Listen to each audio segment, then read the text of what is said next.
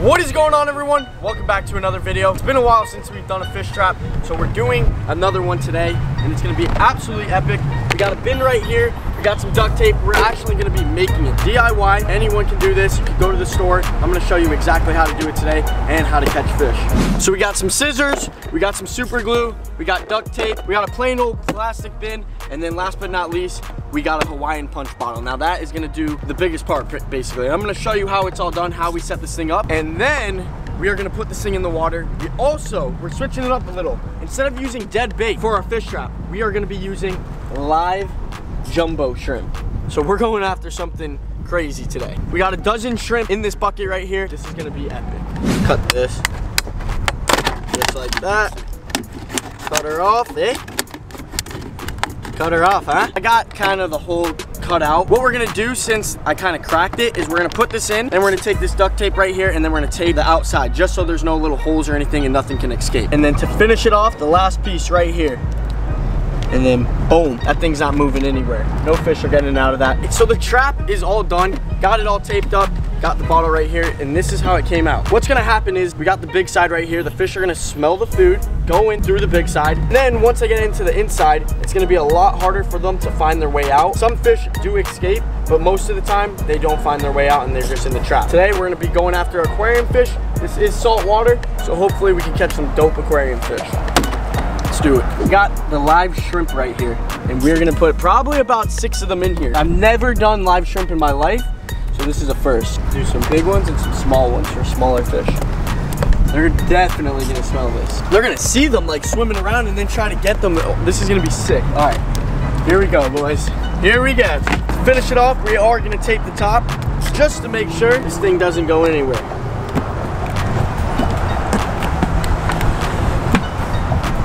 Boom. Now we gotta find a place to put our trap. So right here, we got a whole bunch of rocks. In these rocks are a bunch of aquarium fish, wrasse, snappers, eels, crabs, just a whole bunch of invertebrates too. I have absolutely no clue what we can catch it. This is gonna be dope though. I think I'm gonna place it like right there. I think that's a good area. We got a lot of rocks. I'm gonna go down there and then I'm gonna place a rock on top. Going in, boys. I see little fish already. Look at that little guy right there.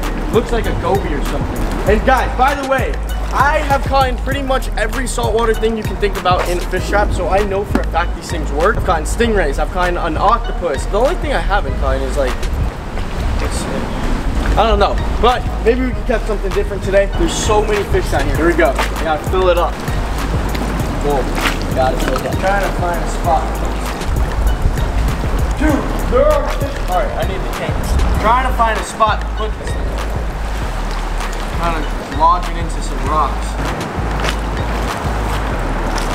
Boom. I got the trap placed. I got a whole bunch of rocks around me, and there is also literally probably a thousand fish right here. I'm gonna bring you guys over here. Trap is placed right there. As you can see, we got all these rocks, and in these rocks, there's eels, octopus, crabs, all types of aquarium fish. The water is a little low right now, but this is what I wanted to show you guys, ready? Look at all those fish. I don't really know if you can see them. They're tiny, but they're all just like, where did they go?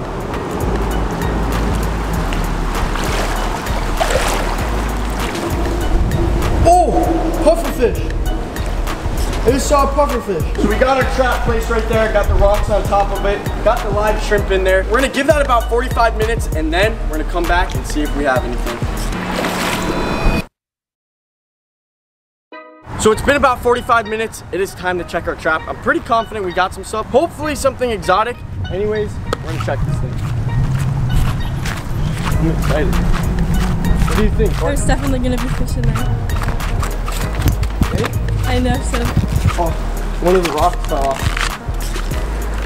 Can't see anything.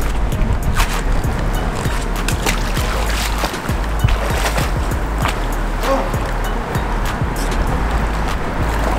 Literally can't see anything. So, we gotta wait till I bring it up. Ah! this is gonna be heavy. I literally can't see anything. Don't let anything get out. Don't let anything get out. Okay? Because there could be an eel or something, something exotic. And those things will slither their way out. Okay, come on. Up, up. Be careful. Ah. Ready? We got a bunch of fish. Oh fish. my gosh. Let me see. Nothing exotic. Look. Holy crit. Look at all these little sergeant majors. What else? I can't really see, dude. There's a glare. Then we got a spot. So we got mangrove snapper. I'm going to show you him. It looks like they just ate all the smaller shrimp. But other than that, that was definitely a success. We were gone for 45 minutes. Look how many fish we caught in this trap. One, two, three, five sergeant majors, two mangrove snapper, and a spot. So I'm gonna show you what the mangrove snapper look like. I'm gonna show you every single fish right now. So here's the spot right here. Really, really cool looking fish. Great bait fish. Literally one of the best bait fish. Then we got the sergeant major, which is a big, big aquarium fish. You see these all the time in aquariums. They school up. That's probably why there's a bunch in here, just because they're always swimming in schools. And then last but not least, nothing crazy. Sometimes we'll get like exotic surprises, just like not common basically. And it seems to be this time we just got the normal aquarium fish, mangrove snapper, sergeant majors, and some spots. This is insane, dude. Look how many fish are here. I think this may be one of the most um, fish I caught in a fish trap before. Then we got the mangrove snapper, which is a protected species. They have to be 12 inches in order to keep them. Really, really, really pretty fish. Let's get these guys up here. We are not gonna be keeping any of these fish today.